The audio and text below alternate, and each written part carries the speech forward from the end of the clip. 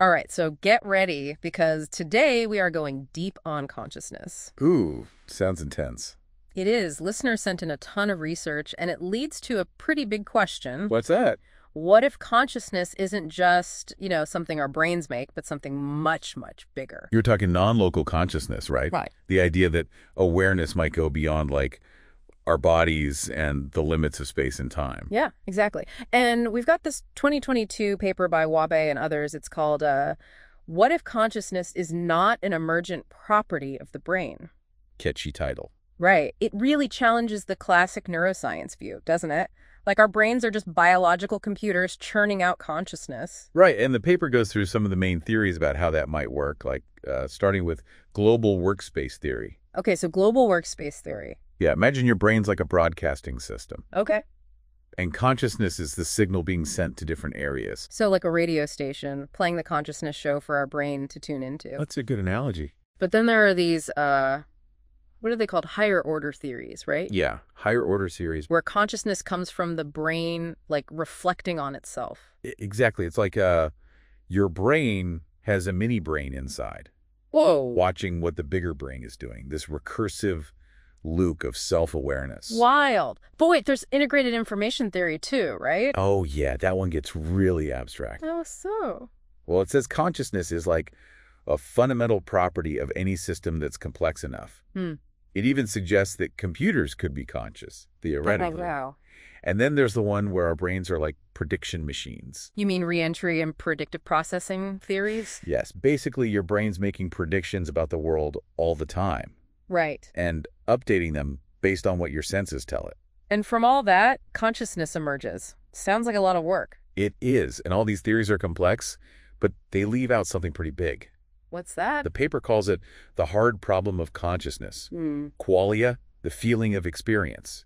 Ah, qualia. So we can map out how we see the color red, but not what it feels like to see red. Exactly.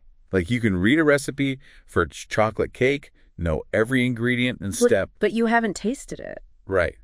So maybe the problem isn't the theories themselves, but what they're based on. Okay, I'm What if we need to look outside the physical brain to truly get what consciousness is? That's where non-local consciousness comes in, right? Exactly. The idea that awareness might not be limited to our bodies or even the laws of physics. And this paper goes into some seriously mind-bending theories on that. Oh, it does. Like, what's that one by Federico Faggin? operational probabilistic theory.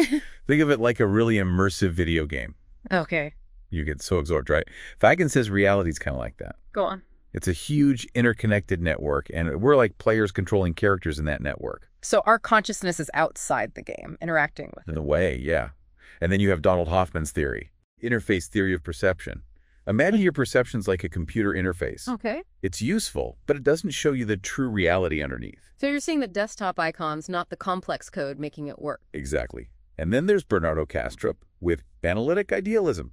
Ready for this one? Hit me. He says there's just one universal consciousness, Hmm. and we're all like little pockets of it experiencing ourselves separately. Wow. And even wilder, matter, the physical world, is just how we perceive each other across this consciousness boundary. Okay, I need a minute to process that one. No problem, there's more. We've got Vernon Neppe and Ed Close. What did they come up with? They say we live in a nine-dimensional reality, with consciousness woven into space-time itself. Nine dimensions. I can barely picture four. Right. They call this extra dimension Gimmel, and it sup- supposedly connects consciousness, life, even the structure of atoms. So even atoms have a bit of consciousness in this view. It's a very complex model, but it highlights how fundamental consciousness might be. I'm noticing a trend here. All these theories try to explain what our materialist science can't. That's a great observation. It's like the blind man and the elephant.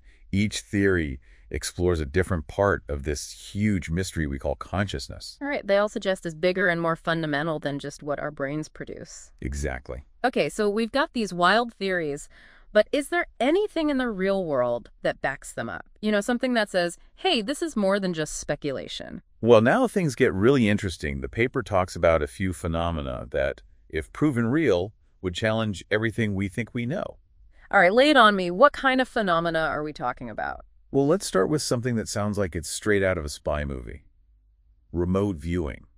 Wait, are you talking about like psychic spies? You got it. People who can see things happening far away. Seriously. There was a top secret U.S. government program that ran for over 20 years looking into it. And what were they trying to see?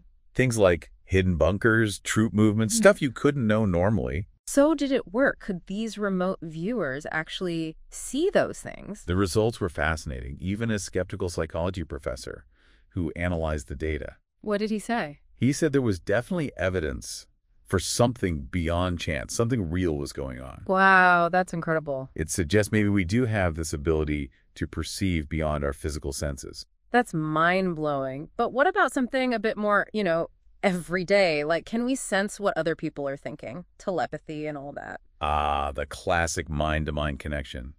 Researchers have been studying this for ages using something called the Ganzfeld experiment. Ganzfeld, what is that? It's like a way to create sensory deprivation.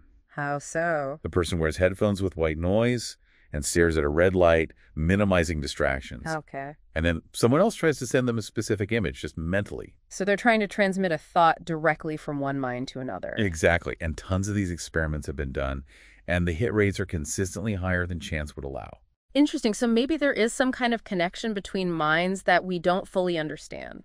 That's what the research suggests. Okay, but what about sensing the future? Is that even remotely possible? That's where things get really wild. Researchers have been looking into precognition, and the findings are fascinating, even if they're controversial. I'm all ears. Okay, picture this. You're hooked up to sensors measuring things like your heart rate, All right. and you're shown random images, some calming, some exciting, all mixed up. Okay. What if I told you your body starts reacting to the intense images a few seconds before they appear on the screen? Wait, are you serious? Like our bodies are getting a sneak peek of the future. It's like that, like we're somehow tapping into information that hasn't happened yet. How is that even possible? That's the big question. But there have been meta-analyses of these studies. And what did they find? A small but statistically significant effect, which means there might be something to this precognition idea. So we might be getting cues from the future, even if we don't realize it. And this trip into the unknown gets even weirder with something called xenoglossy. Xenoglossy. Sounds like something from Star Trek. It's the phenomenon of speaking languages you've never learned. Wait, you mean like suddenly being fluent in Mandarin without ever studying it? There are a lot of documented cases throughout history, some going way back. Really? Of course, they're often anecdotal, hard to verify, Yeah. but some have been carefully investigated, like the case of Indridason. Who's that? He was an Icelandic medium who seemed to speak multiple languages he couldn't have known. That's crazy. What if there's some kind of knowledge or skill we can access that goes beyond how we normally learn? It really challenges how we think about the brain.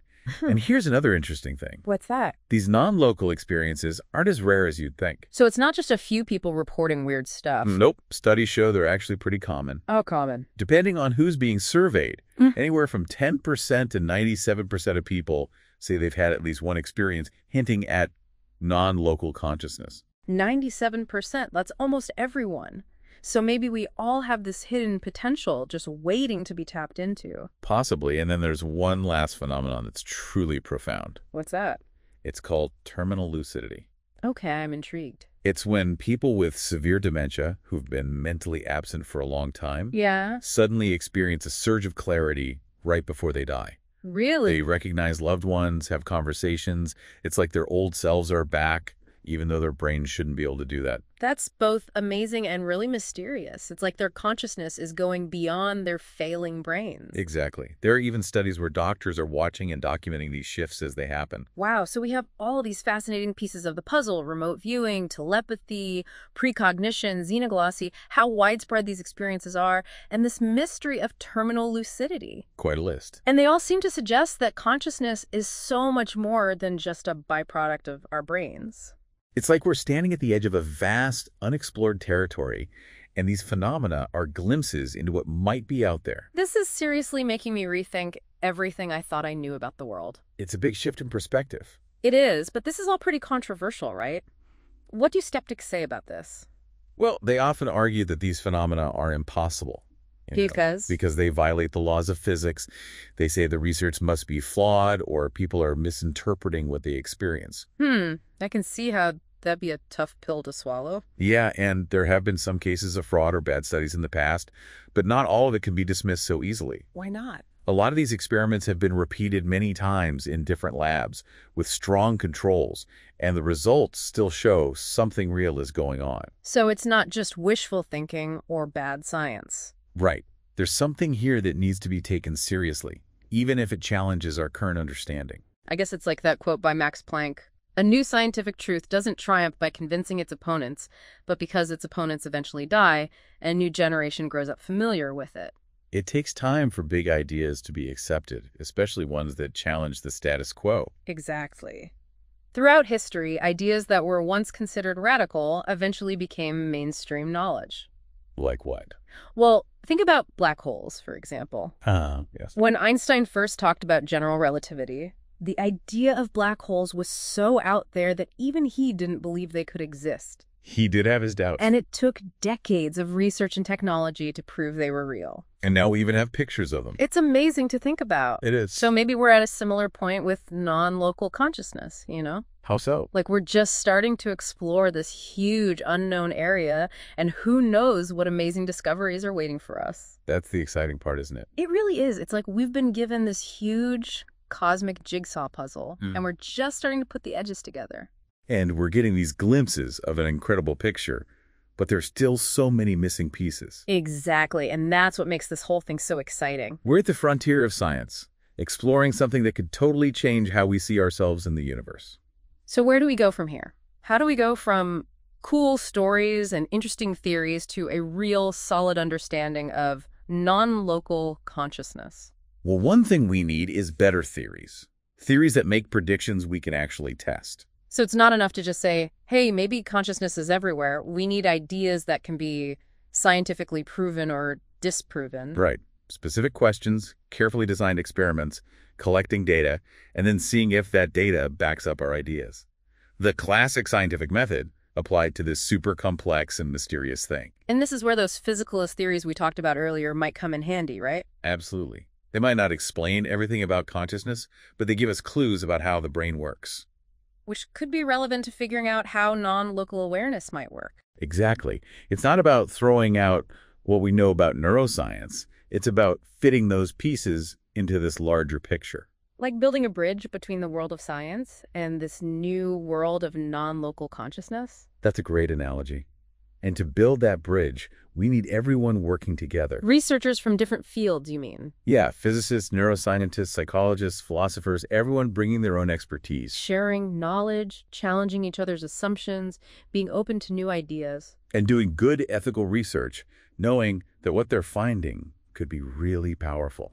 It's like we're all explorers setting off on a grand adventure, but the map is still being made as we go. A bit daunting, but so exciting. Imagine if we could really understand and use non-local consciousness. The possibilities are mind-blowing. Right.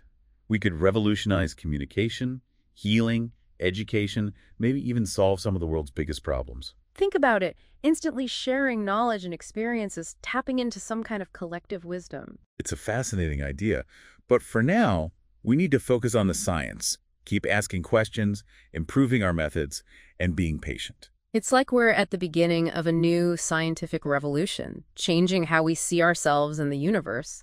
And it's a revolution you're a part of, you know. That's right. Everyone listening, by engaging with these ideas, asking questions, staying curious. You're contributing to this exploration of human consciousness. So, what do you think so far? What's been the most interesting part for you? For me, it's how open-ended it all is. There's no one right answer. It's about each of us figuring things out based on our own experiences. I agree. That's what makes this so fascinating. Exactly. And maybe one day we'll look back and see this as a turning point when humanity started to wake up to its full potential. It's a powerful thought. It is. Well, we've covered a lot today, really mind-bending stuff, but I'm feeling like there's more to explore, isn't there? You're right. There's one more crucial aspect the paper brings up, not just understanding non-local consciousness, but using that knowledge ethically. Right. This isn't just a theoretical debate. If these abilities are real and we learn to control them, there are serious consequences to consider. So we're talking ethics now. The ethics of non-local consciousness, yeah. This isn't just some philosophical debate anymore, right? If these abilities are as powerful as they seem, if they're real, Then we got to be careful about the downsides. right, absolutely. We can't get caught up in utopian dreams or dystopian fears. Gotta stay balanced. Right, balance. Think about it. If someone used remote viewing to spy on people Oh, yeah. or get secret info without permission, that'd be a huge ethical problem. It's like we're so used to the limits of our physical senses that we don't even know how to deal with abilities that go beyond that. That's the challenge we're facing. The Mhm. government remote viewing program, they took this seriously. I bet. They had strict rules to make sure the information wasn't misused. Makes sense. But what if these abilities become more common? What's stopping someone from using them for bad? It's a scary thought. Right. It's like opening Pandora's box. We can't just unleash these abilities without thinking about the consequences. Both good and bad. Exactly. We need to talk about this openly and honestly. Who needs to be part of that conversation? Scientists, researchers for sure, but also ethicists, policymakers, regular people, everyone. This is where it gets tricky, right? We're not just talking about regulating some new technology, we're talking about regulating parts of human consciousness itself. And that brings up so many questions. Like what? Like, do we have the right to limit someone's access to their own consciousness?